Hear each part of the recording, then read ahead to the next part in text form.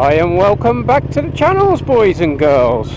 I hope you can hear me, I've got my visor open a little bit because we're just crawling through some lanes. So let the air in. It is uh, middle of July and the UK are in for a massive heat wave this weekend. It is an evening, so it's another ride after work. Got to get out. So I'm just going to put the uh, visor down. But yeah, as you can see, beautiful, beautiful weather we're having at the moment. I know some complain it's too hot, it gets too muggy, and I'm one of them when it gets silly, but you gotta make the most of it, guys. When it's wet and horrible, we moan then as well in the UK. anyway, I hope you're all well and riding safe. So, topic of conversation tonight, or this evening, or this morning, or whenever you're watching this. Riding pillion on the Speed Twin. Now, I've never done it. Reason why I'm talking about it is I'm just about to meet my friend who's taking his son out on his Kawasaki 1000. So, yeah, he, he's borrowed a lid off me the other day and he's going to take his uh, son out for it. So he's obviously had to adjust all the preload and stuff ready. Took his son out previously when he had his speed triple. So it's not like his first time with a pillion, not the first time for his son either. But on this bike, it's his first time. Anyway, brilliant, but it got me thinking. Now, my wife left a bit, but she's never going to get on this bike with me. So she's a nurse, so she's seen plenty of people fall off and things like that. So yeah, she has no intention of ever, ever coming on the uh, bike with me.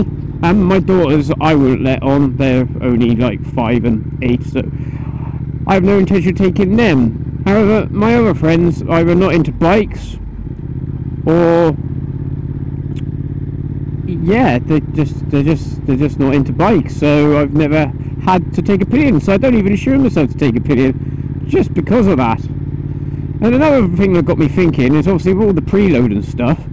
What a pain in the ass with the stock suspension on the Speed Twin. Because as anyone's known, if they've altered the preload for just general riding, you have to take off the rear cans to get the preload done nicely, or at least loosen them out the way, because the little socket you get in the side of the the bike, the little toolkit tool, um, it's a bit useless really.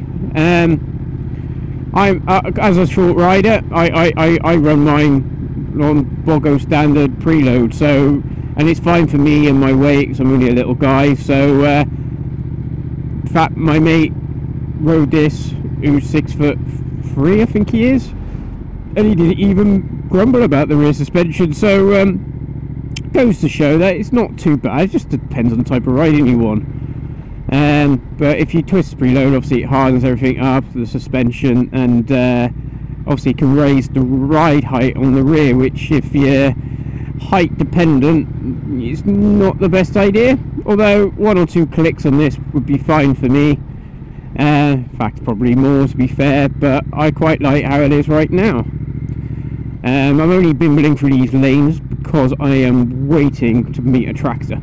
We did on one of my last videos, and uh, there, ain't much room, uh, especially on this one, as you can see.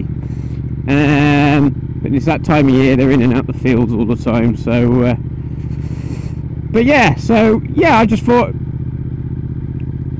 Do you take people out in your speed twin? I know many people do, but do you just leave the preload alone, or do you adjust it regularly? Or do you do what a lot of people have and just literally just gone this is a stupid error in Triumph's part and replaced it with aftermarket suspensions with uh, easily adjustable preload and probably dampening. Um, like I said never had an issue so far. Hello? And uh, yeah so that that's that's just the topic of conversation. Um, I haven't really done an awful lot uh, since our last vlog. I haven't even been in the car or anything, so um, so I haven't even been in the uh, AMG. I do plan to this weekend though, because it's going to be a scorcher. I'm going to try and get out on both if I can. uh, F1, F1 catch up. Obviously, since I last did an F1 little catch up in my vlogs, we've had Silverstone and we just had Austria. What two cracking Grand Prix! Silverstone by far the best uh, race we've had this season. By far, I know you know I'm based in the UK, Silverstone's our home track and all that, but I just think for entertainment value, it was absolutely brilliant. Absolutely brilliant. So, uh, yeah, I absolutely. Uh, looks a bit gravity and crap along here, isn't it? Yeah, I thought, yeah, best race of season by far. Lots of action, high speeds crash. Luckily, you know, there's no spoilers. Hopefully, everyone's watched it. If you are interested, it was a high speed crash. Worth watching on YouTube because the Halo blatantly saved his life in fact, it saved the uh, F2 driver's life as well at Silverstone that weekend as well. So, bravo, Halo. Well done. Um, what else was there? Austria. Yeah. I'm, I'm really pleased for uh, Charles Leclerc. I think he uh, deserved that.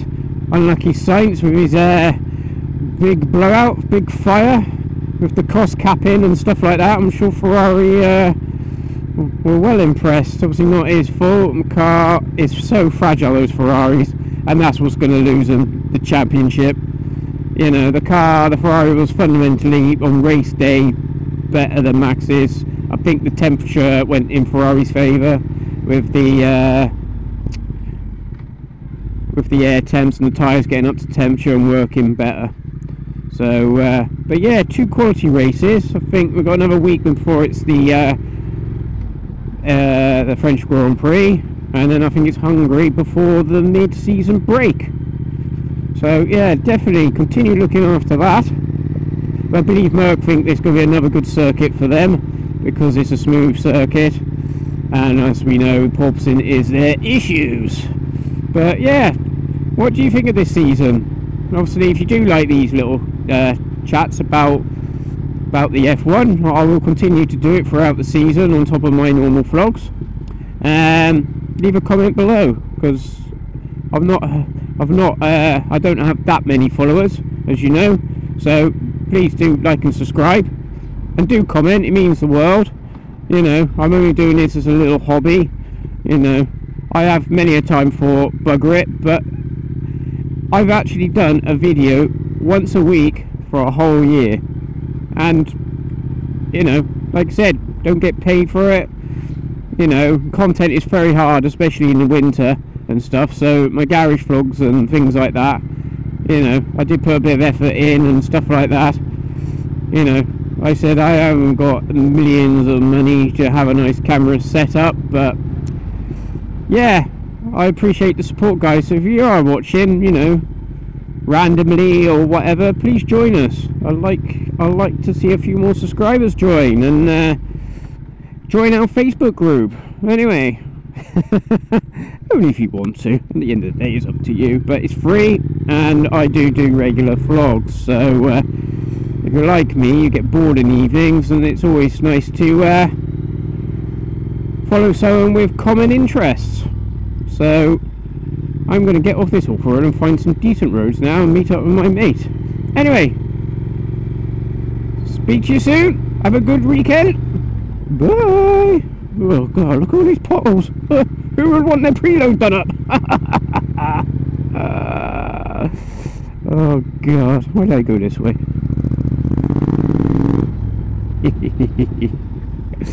Catch you the next one, guys.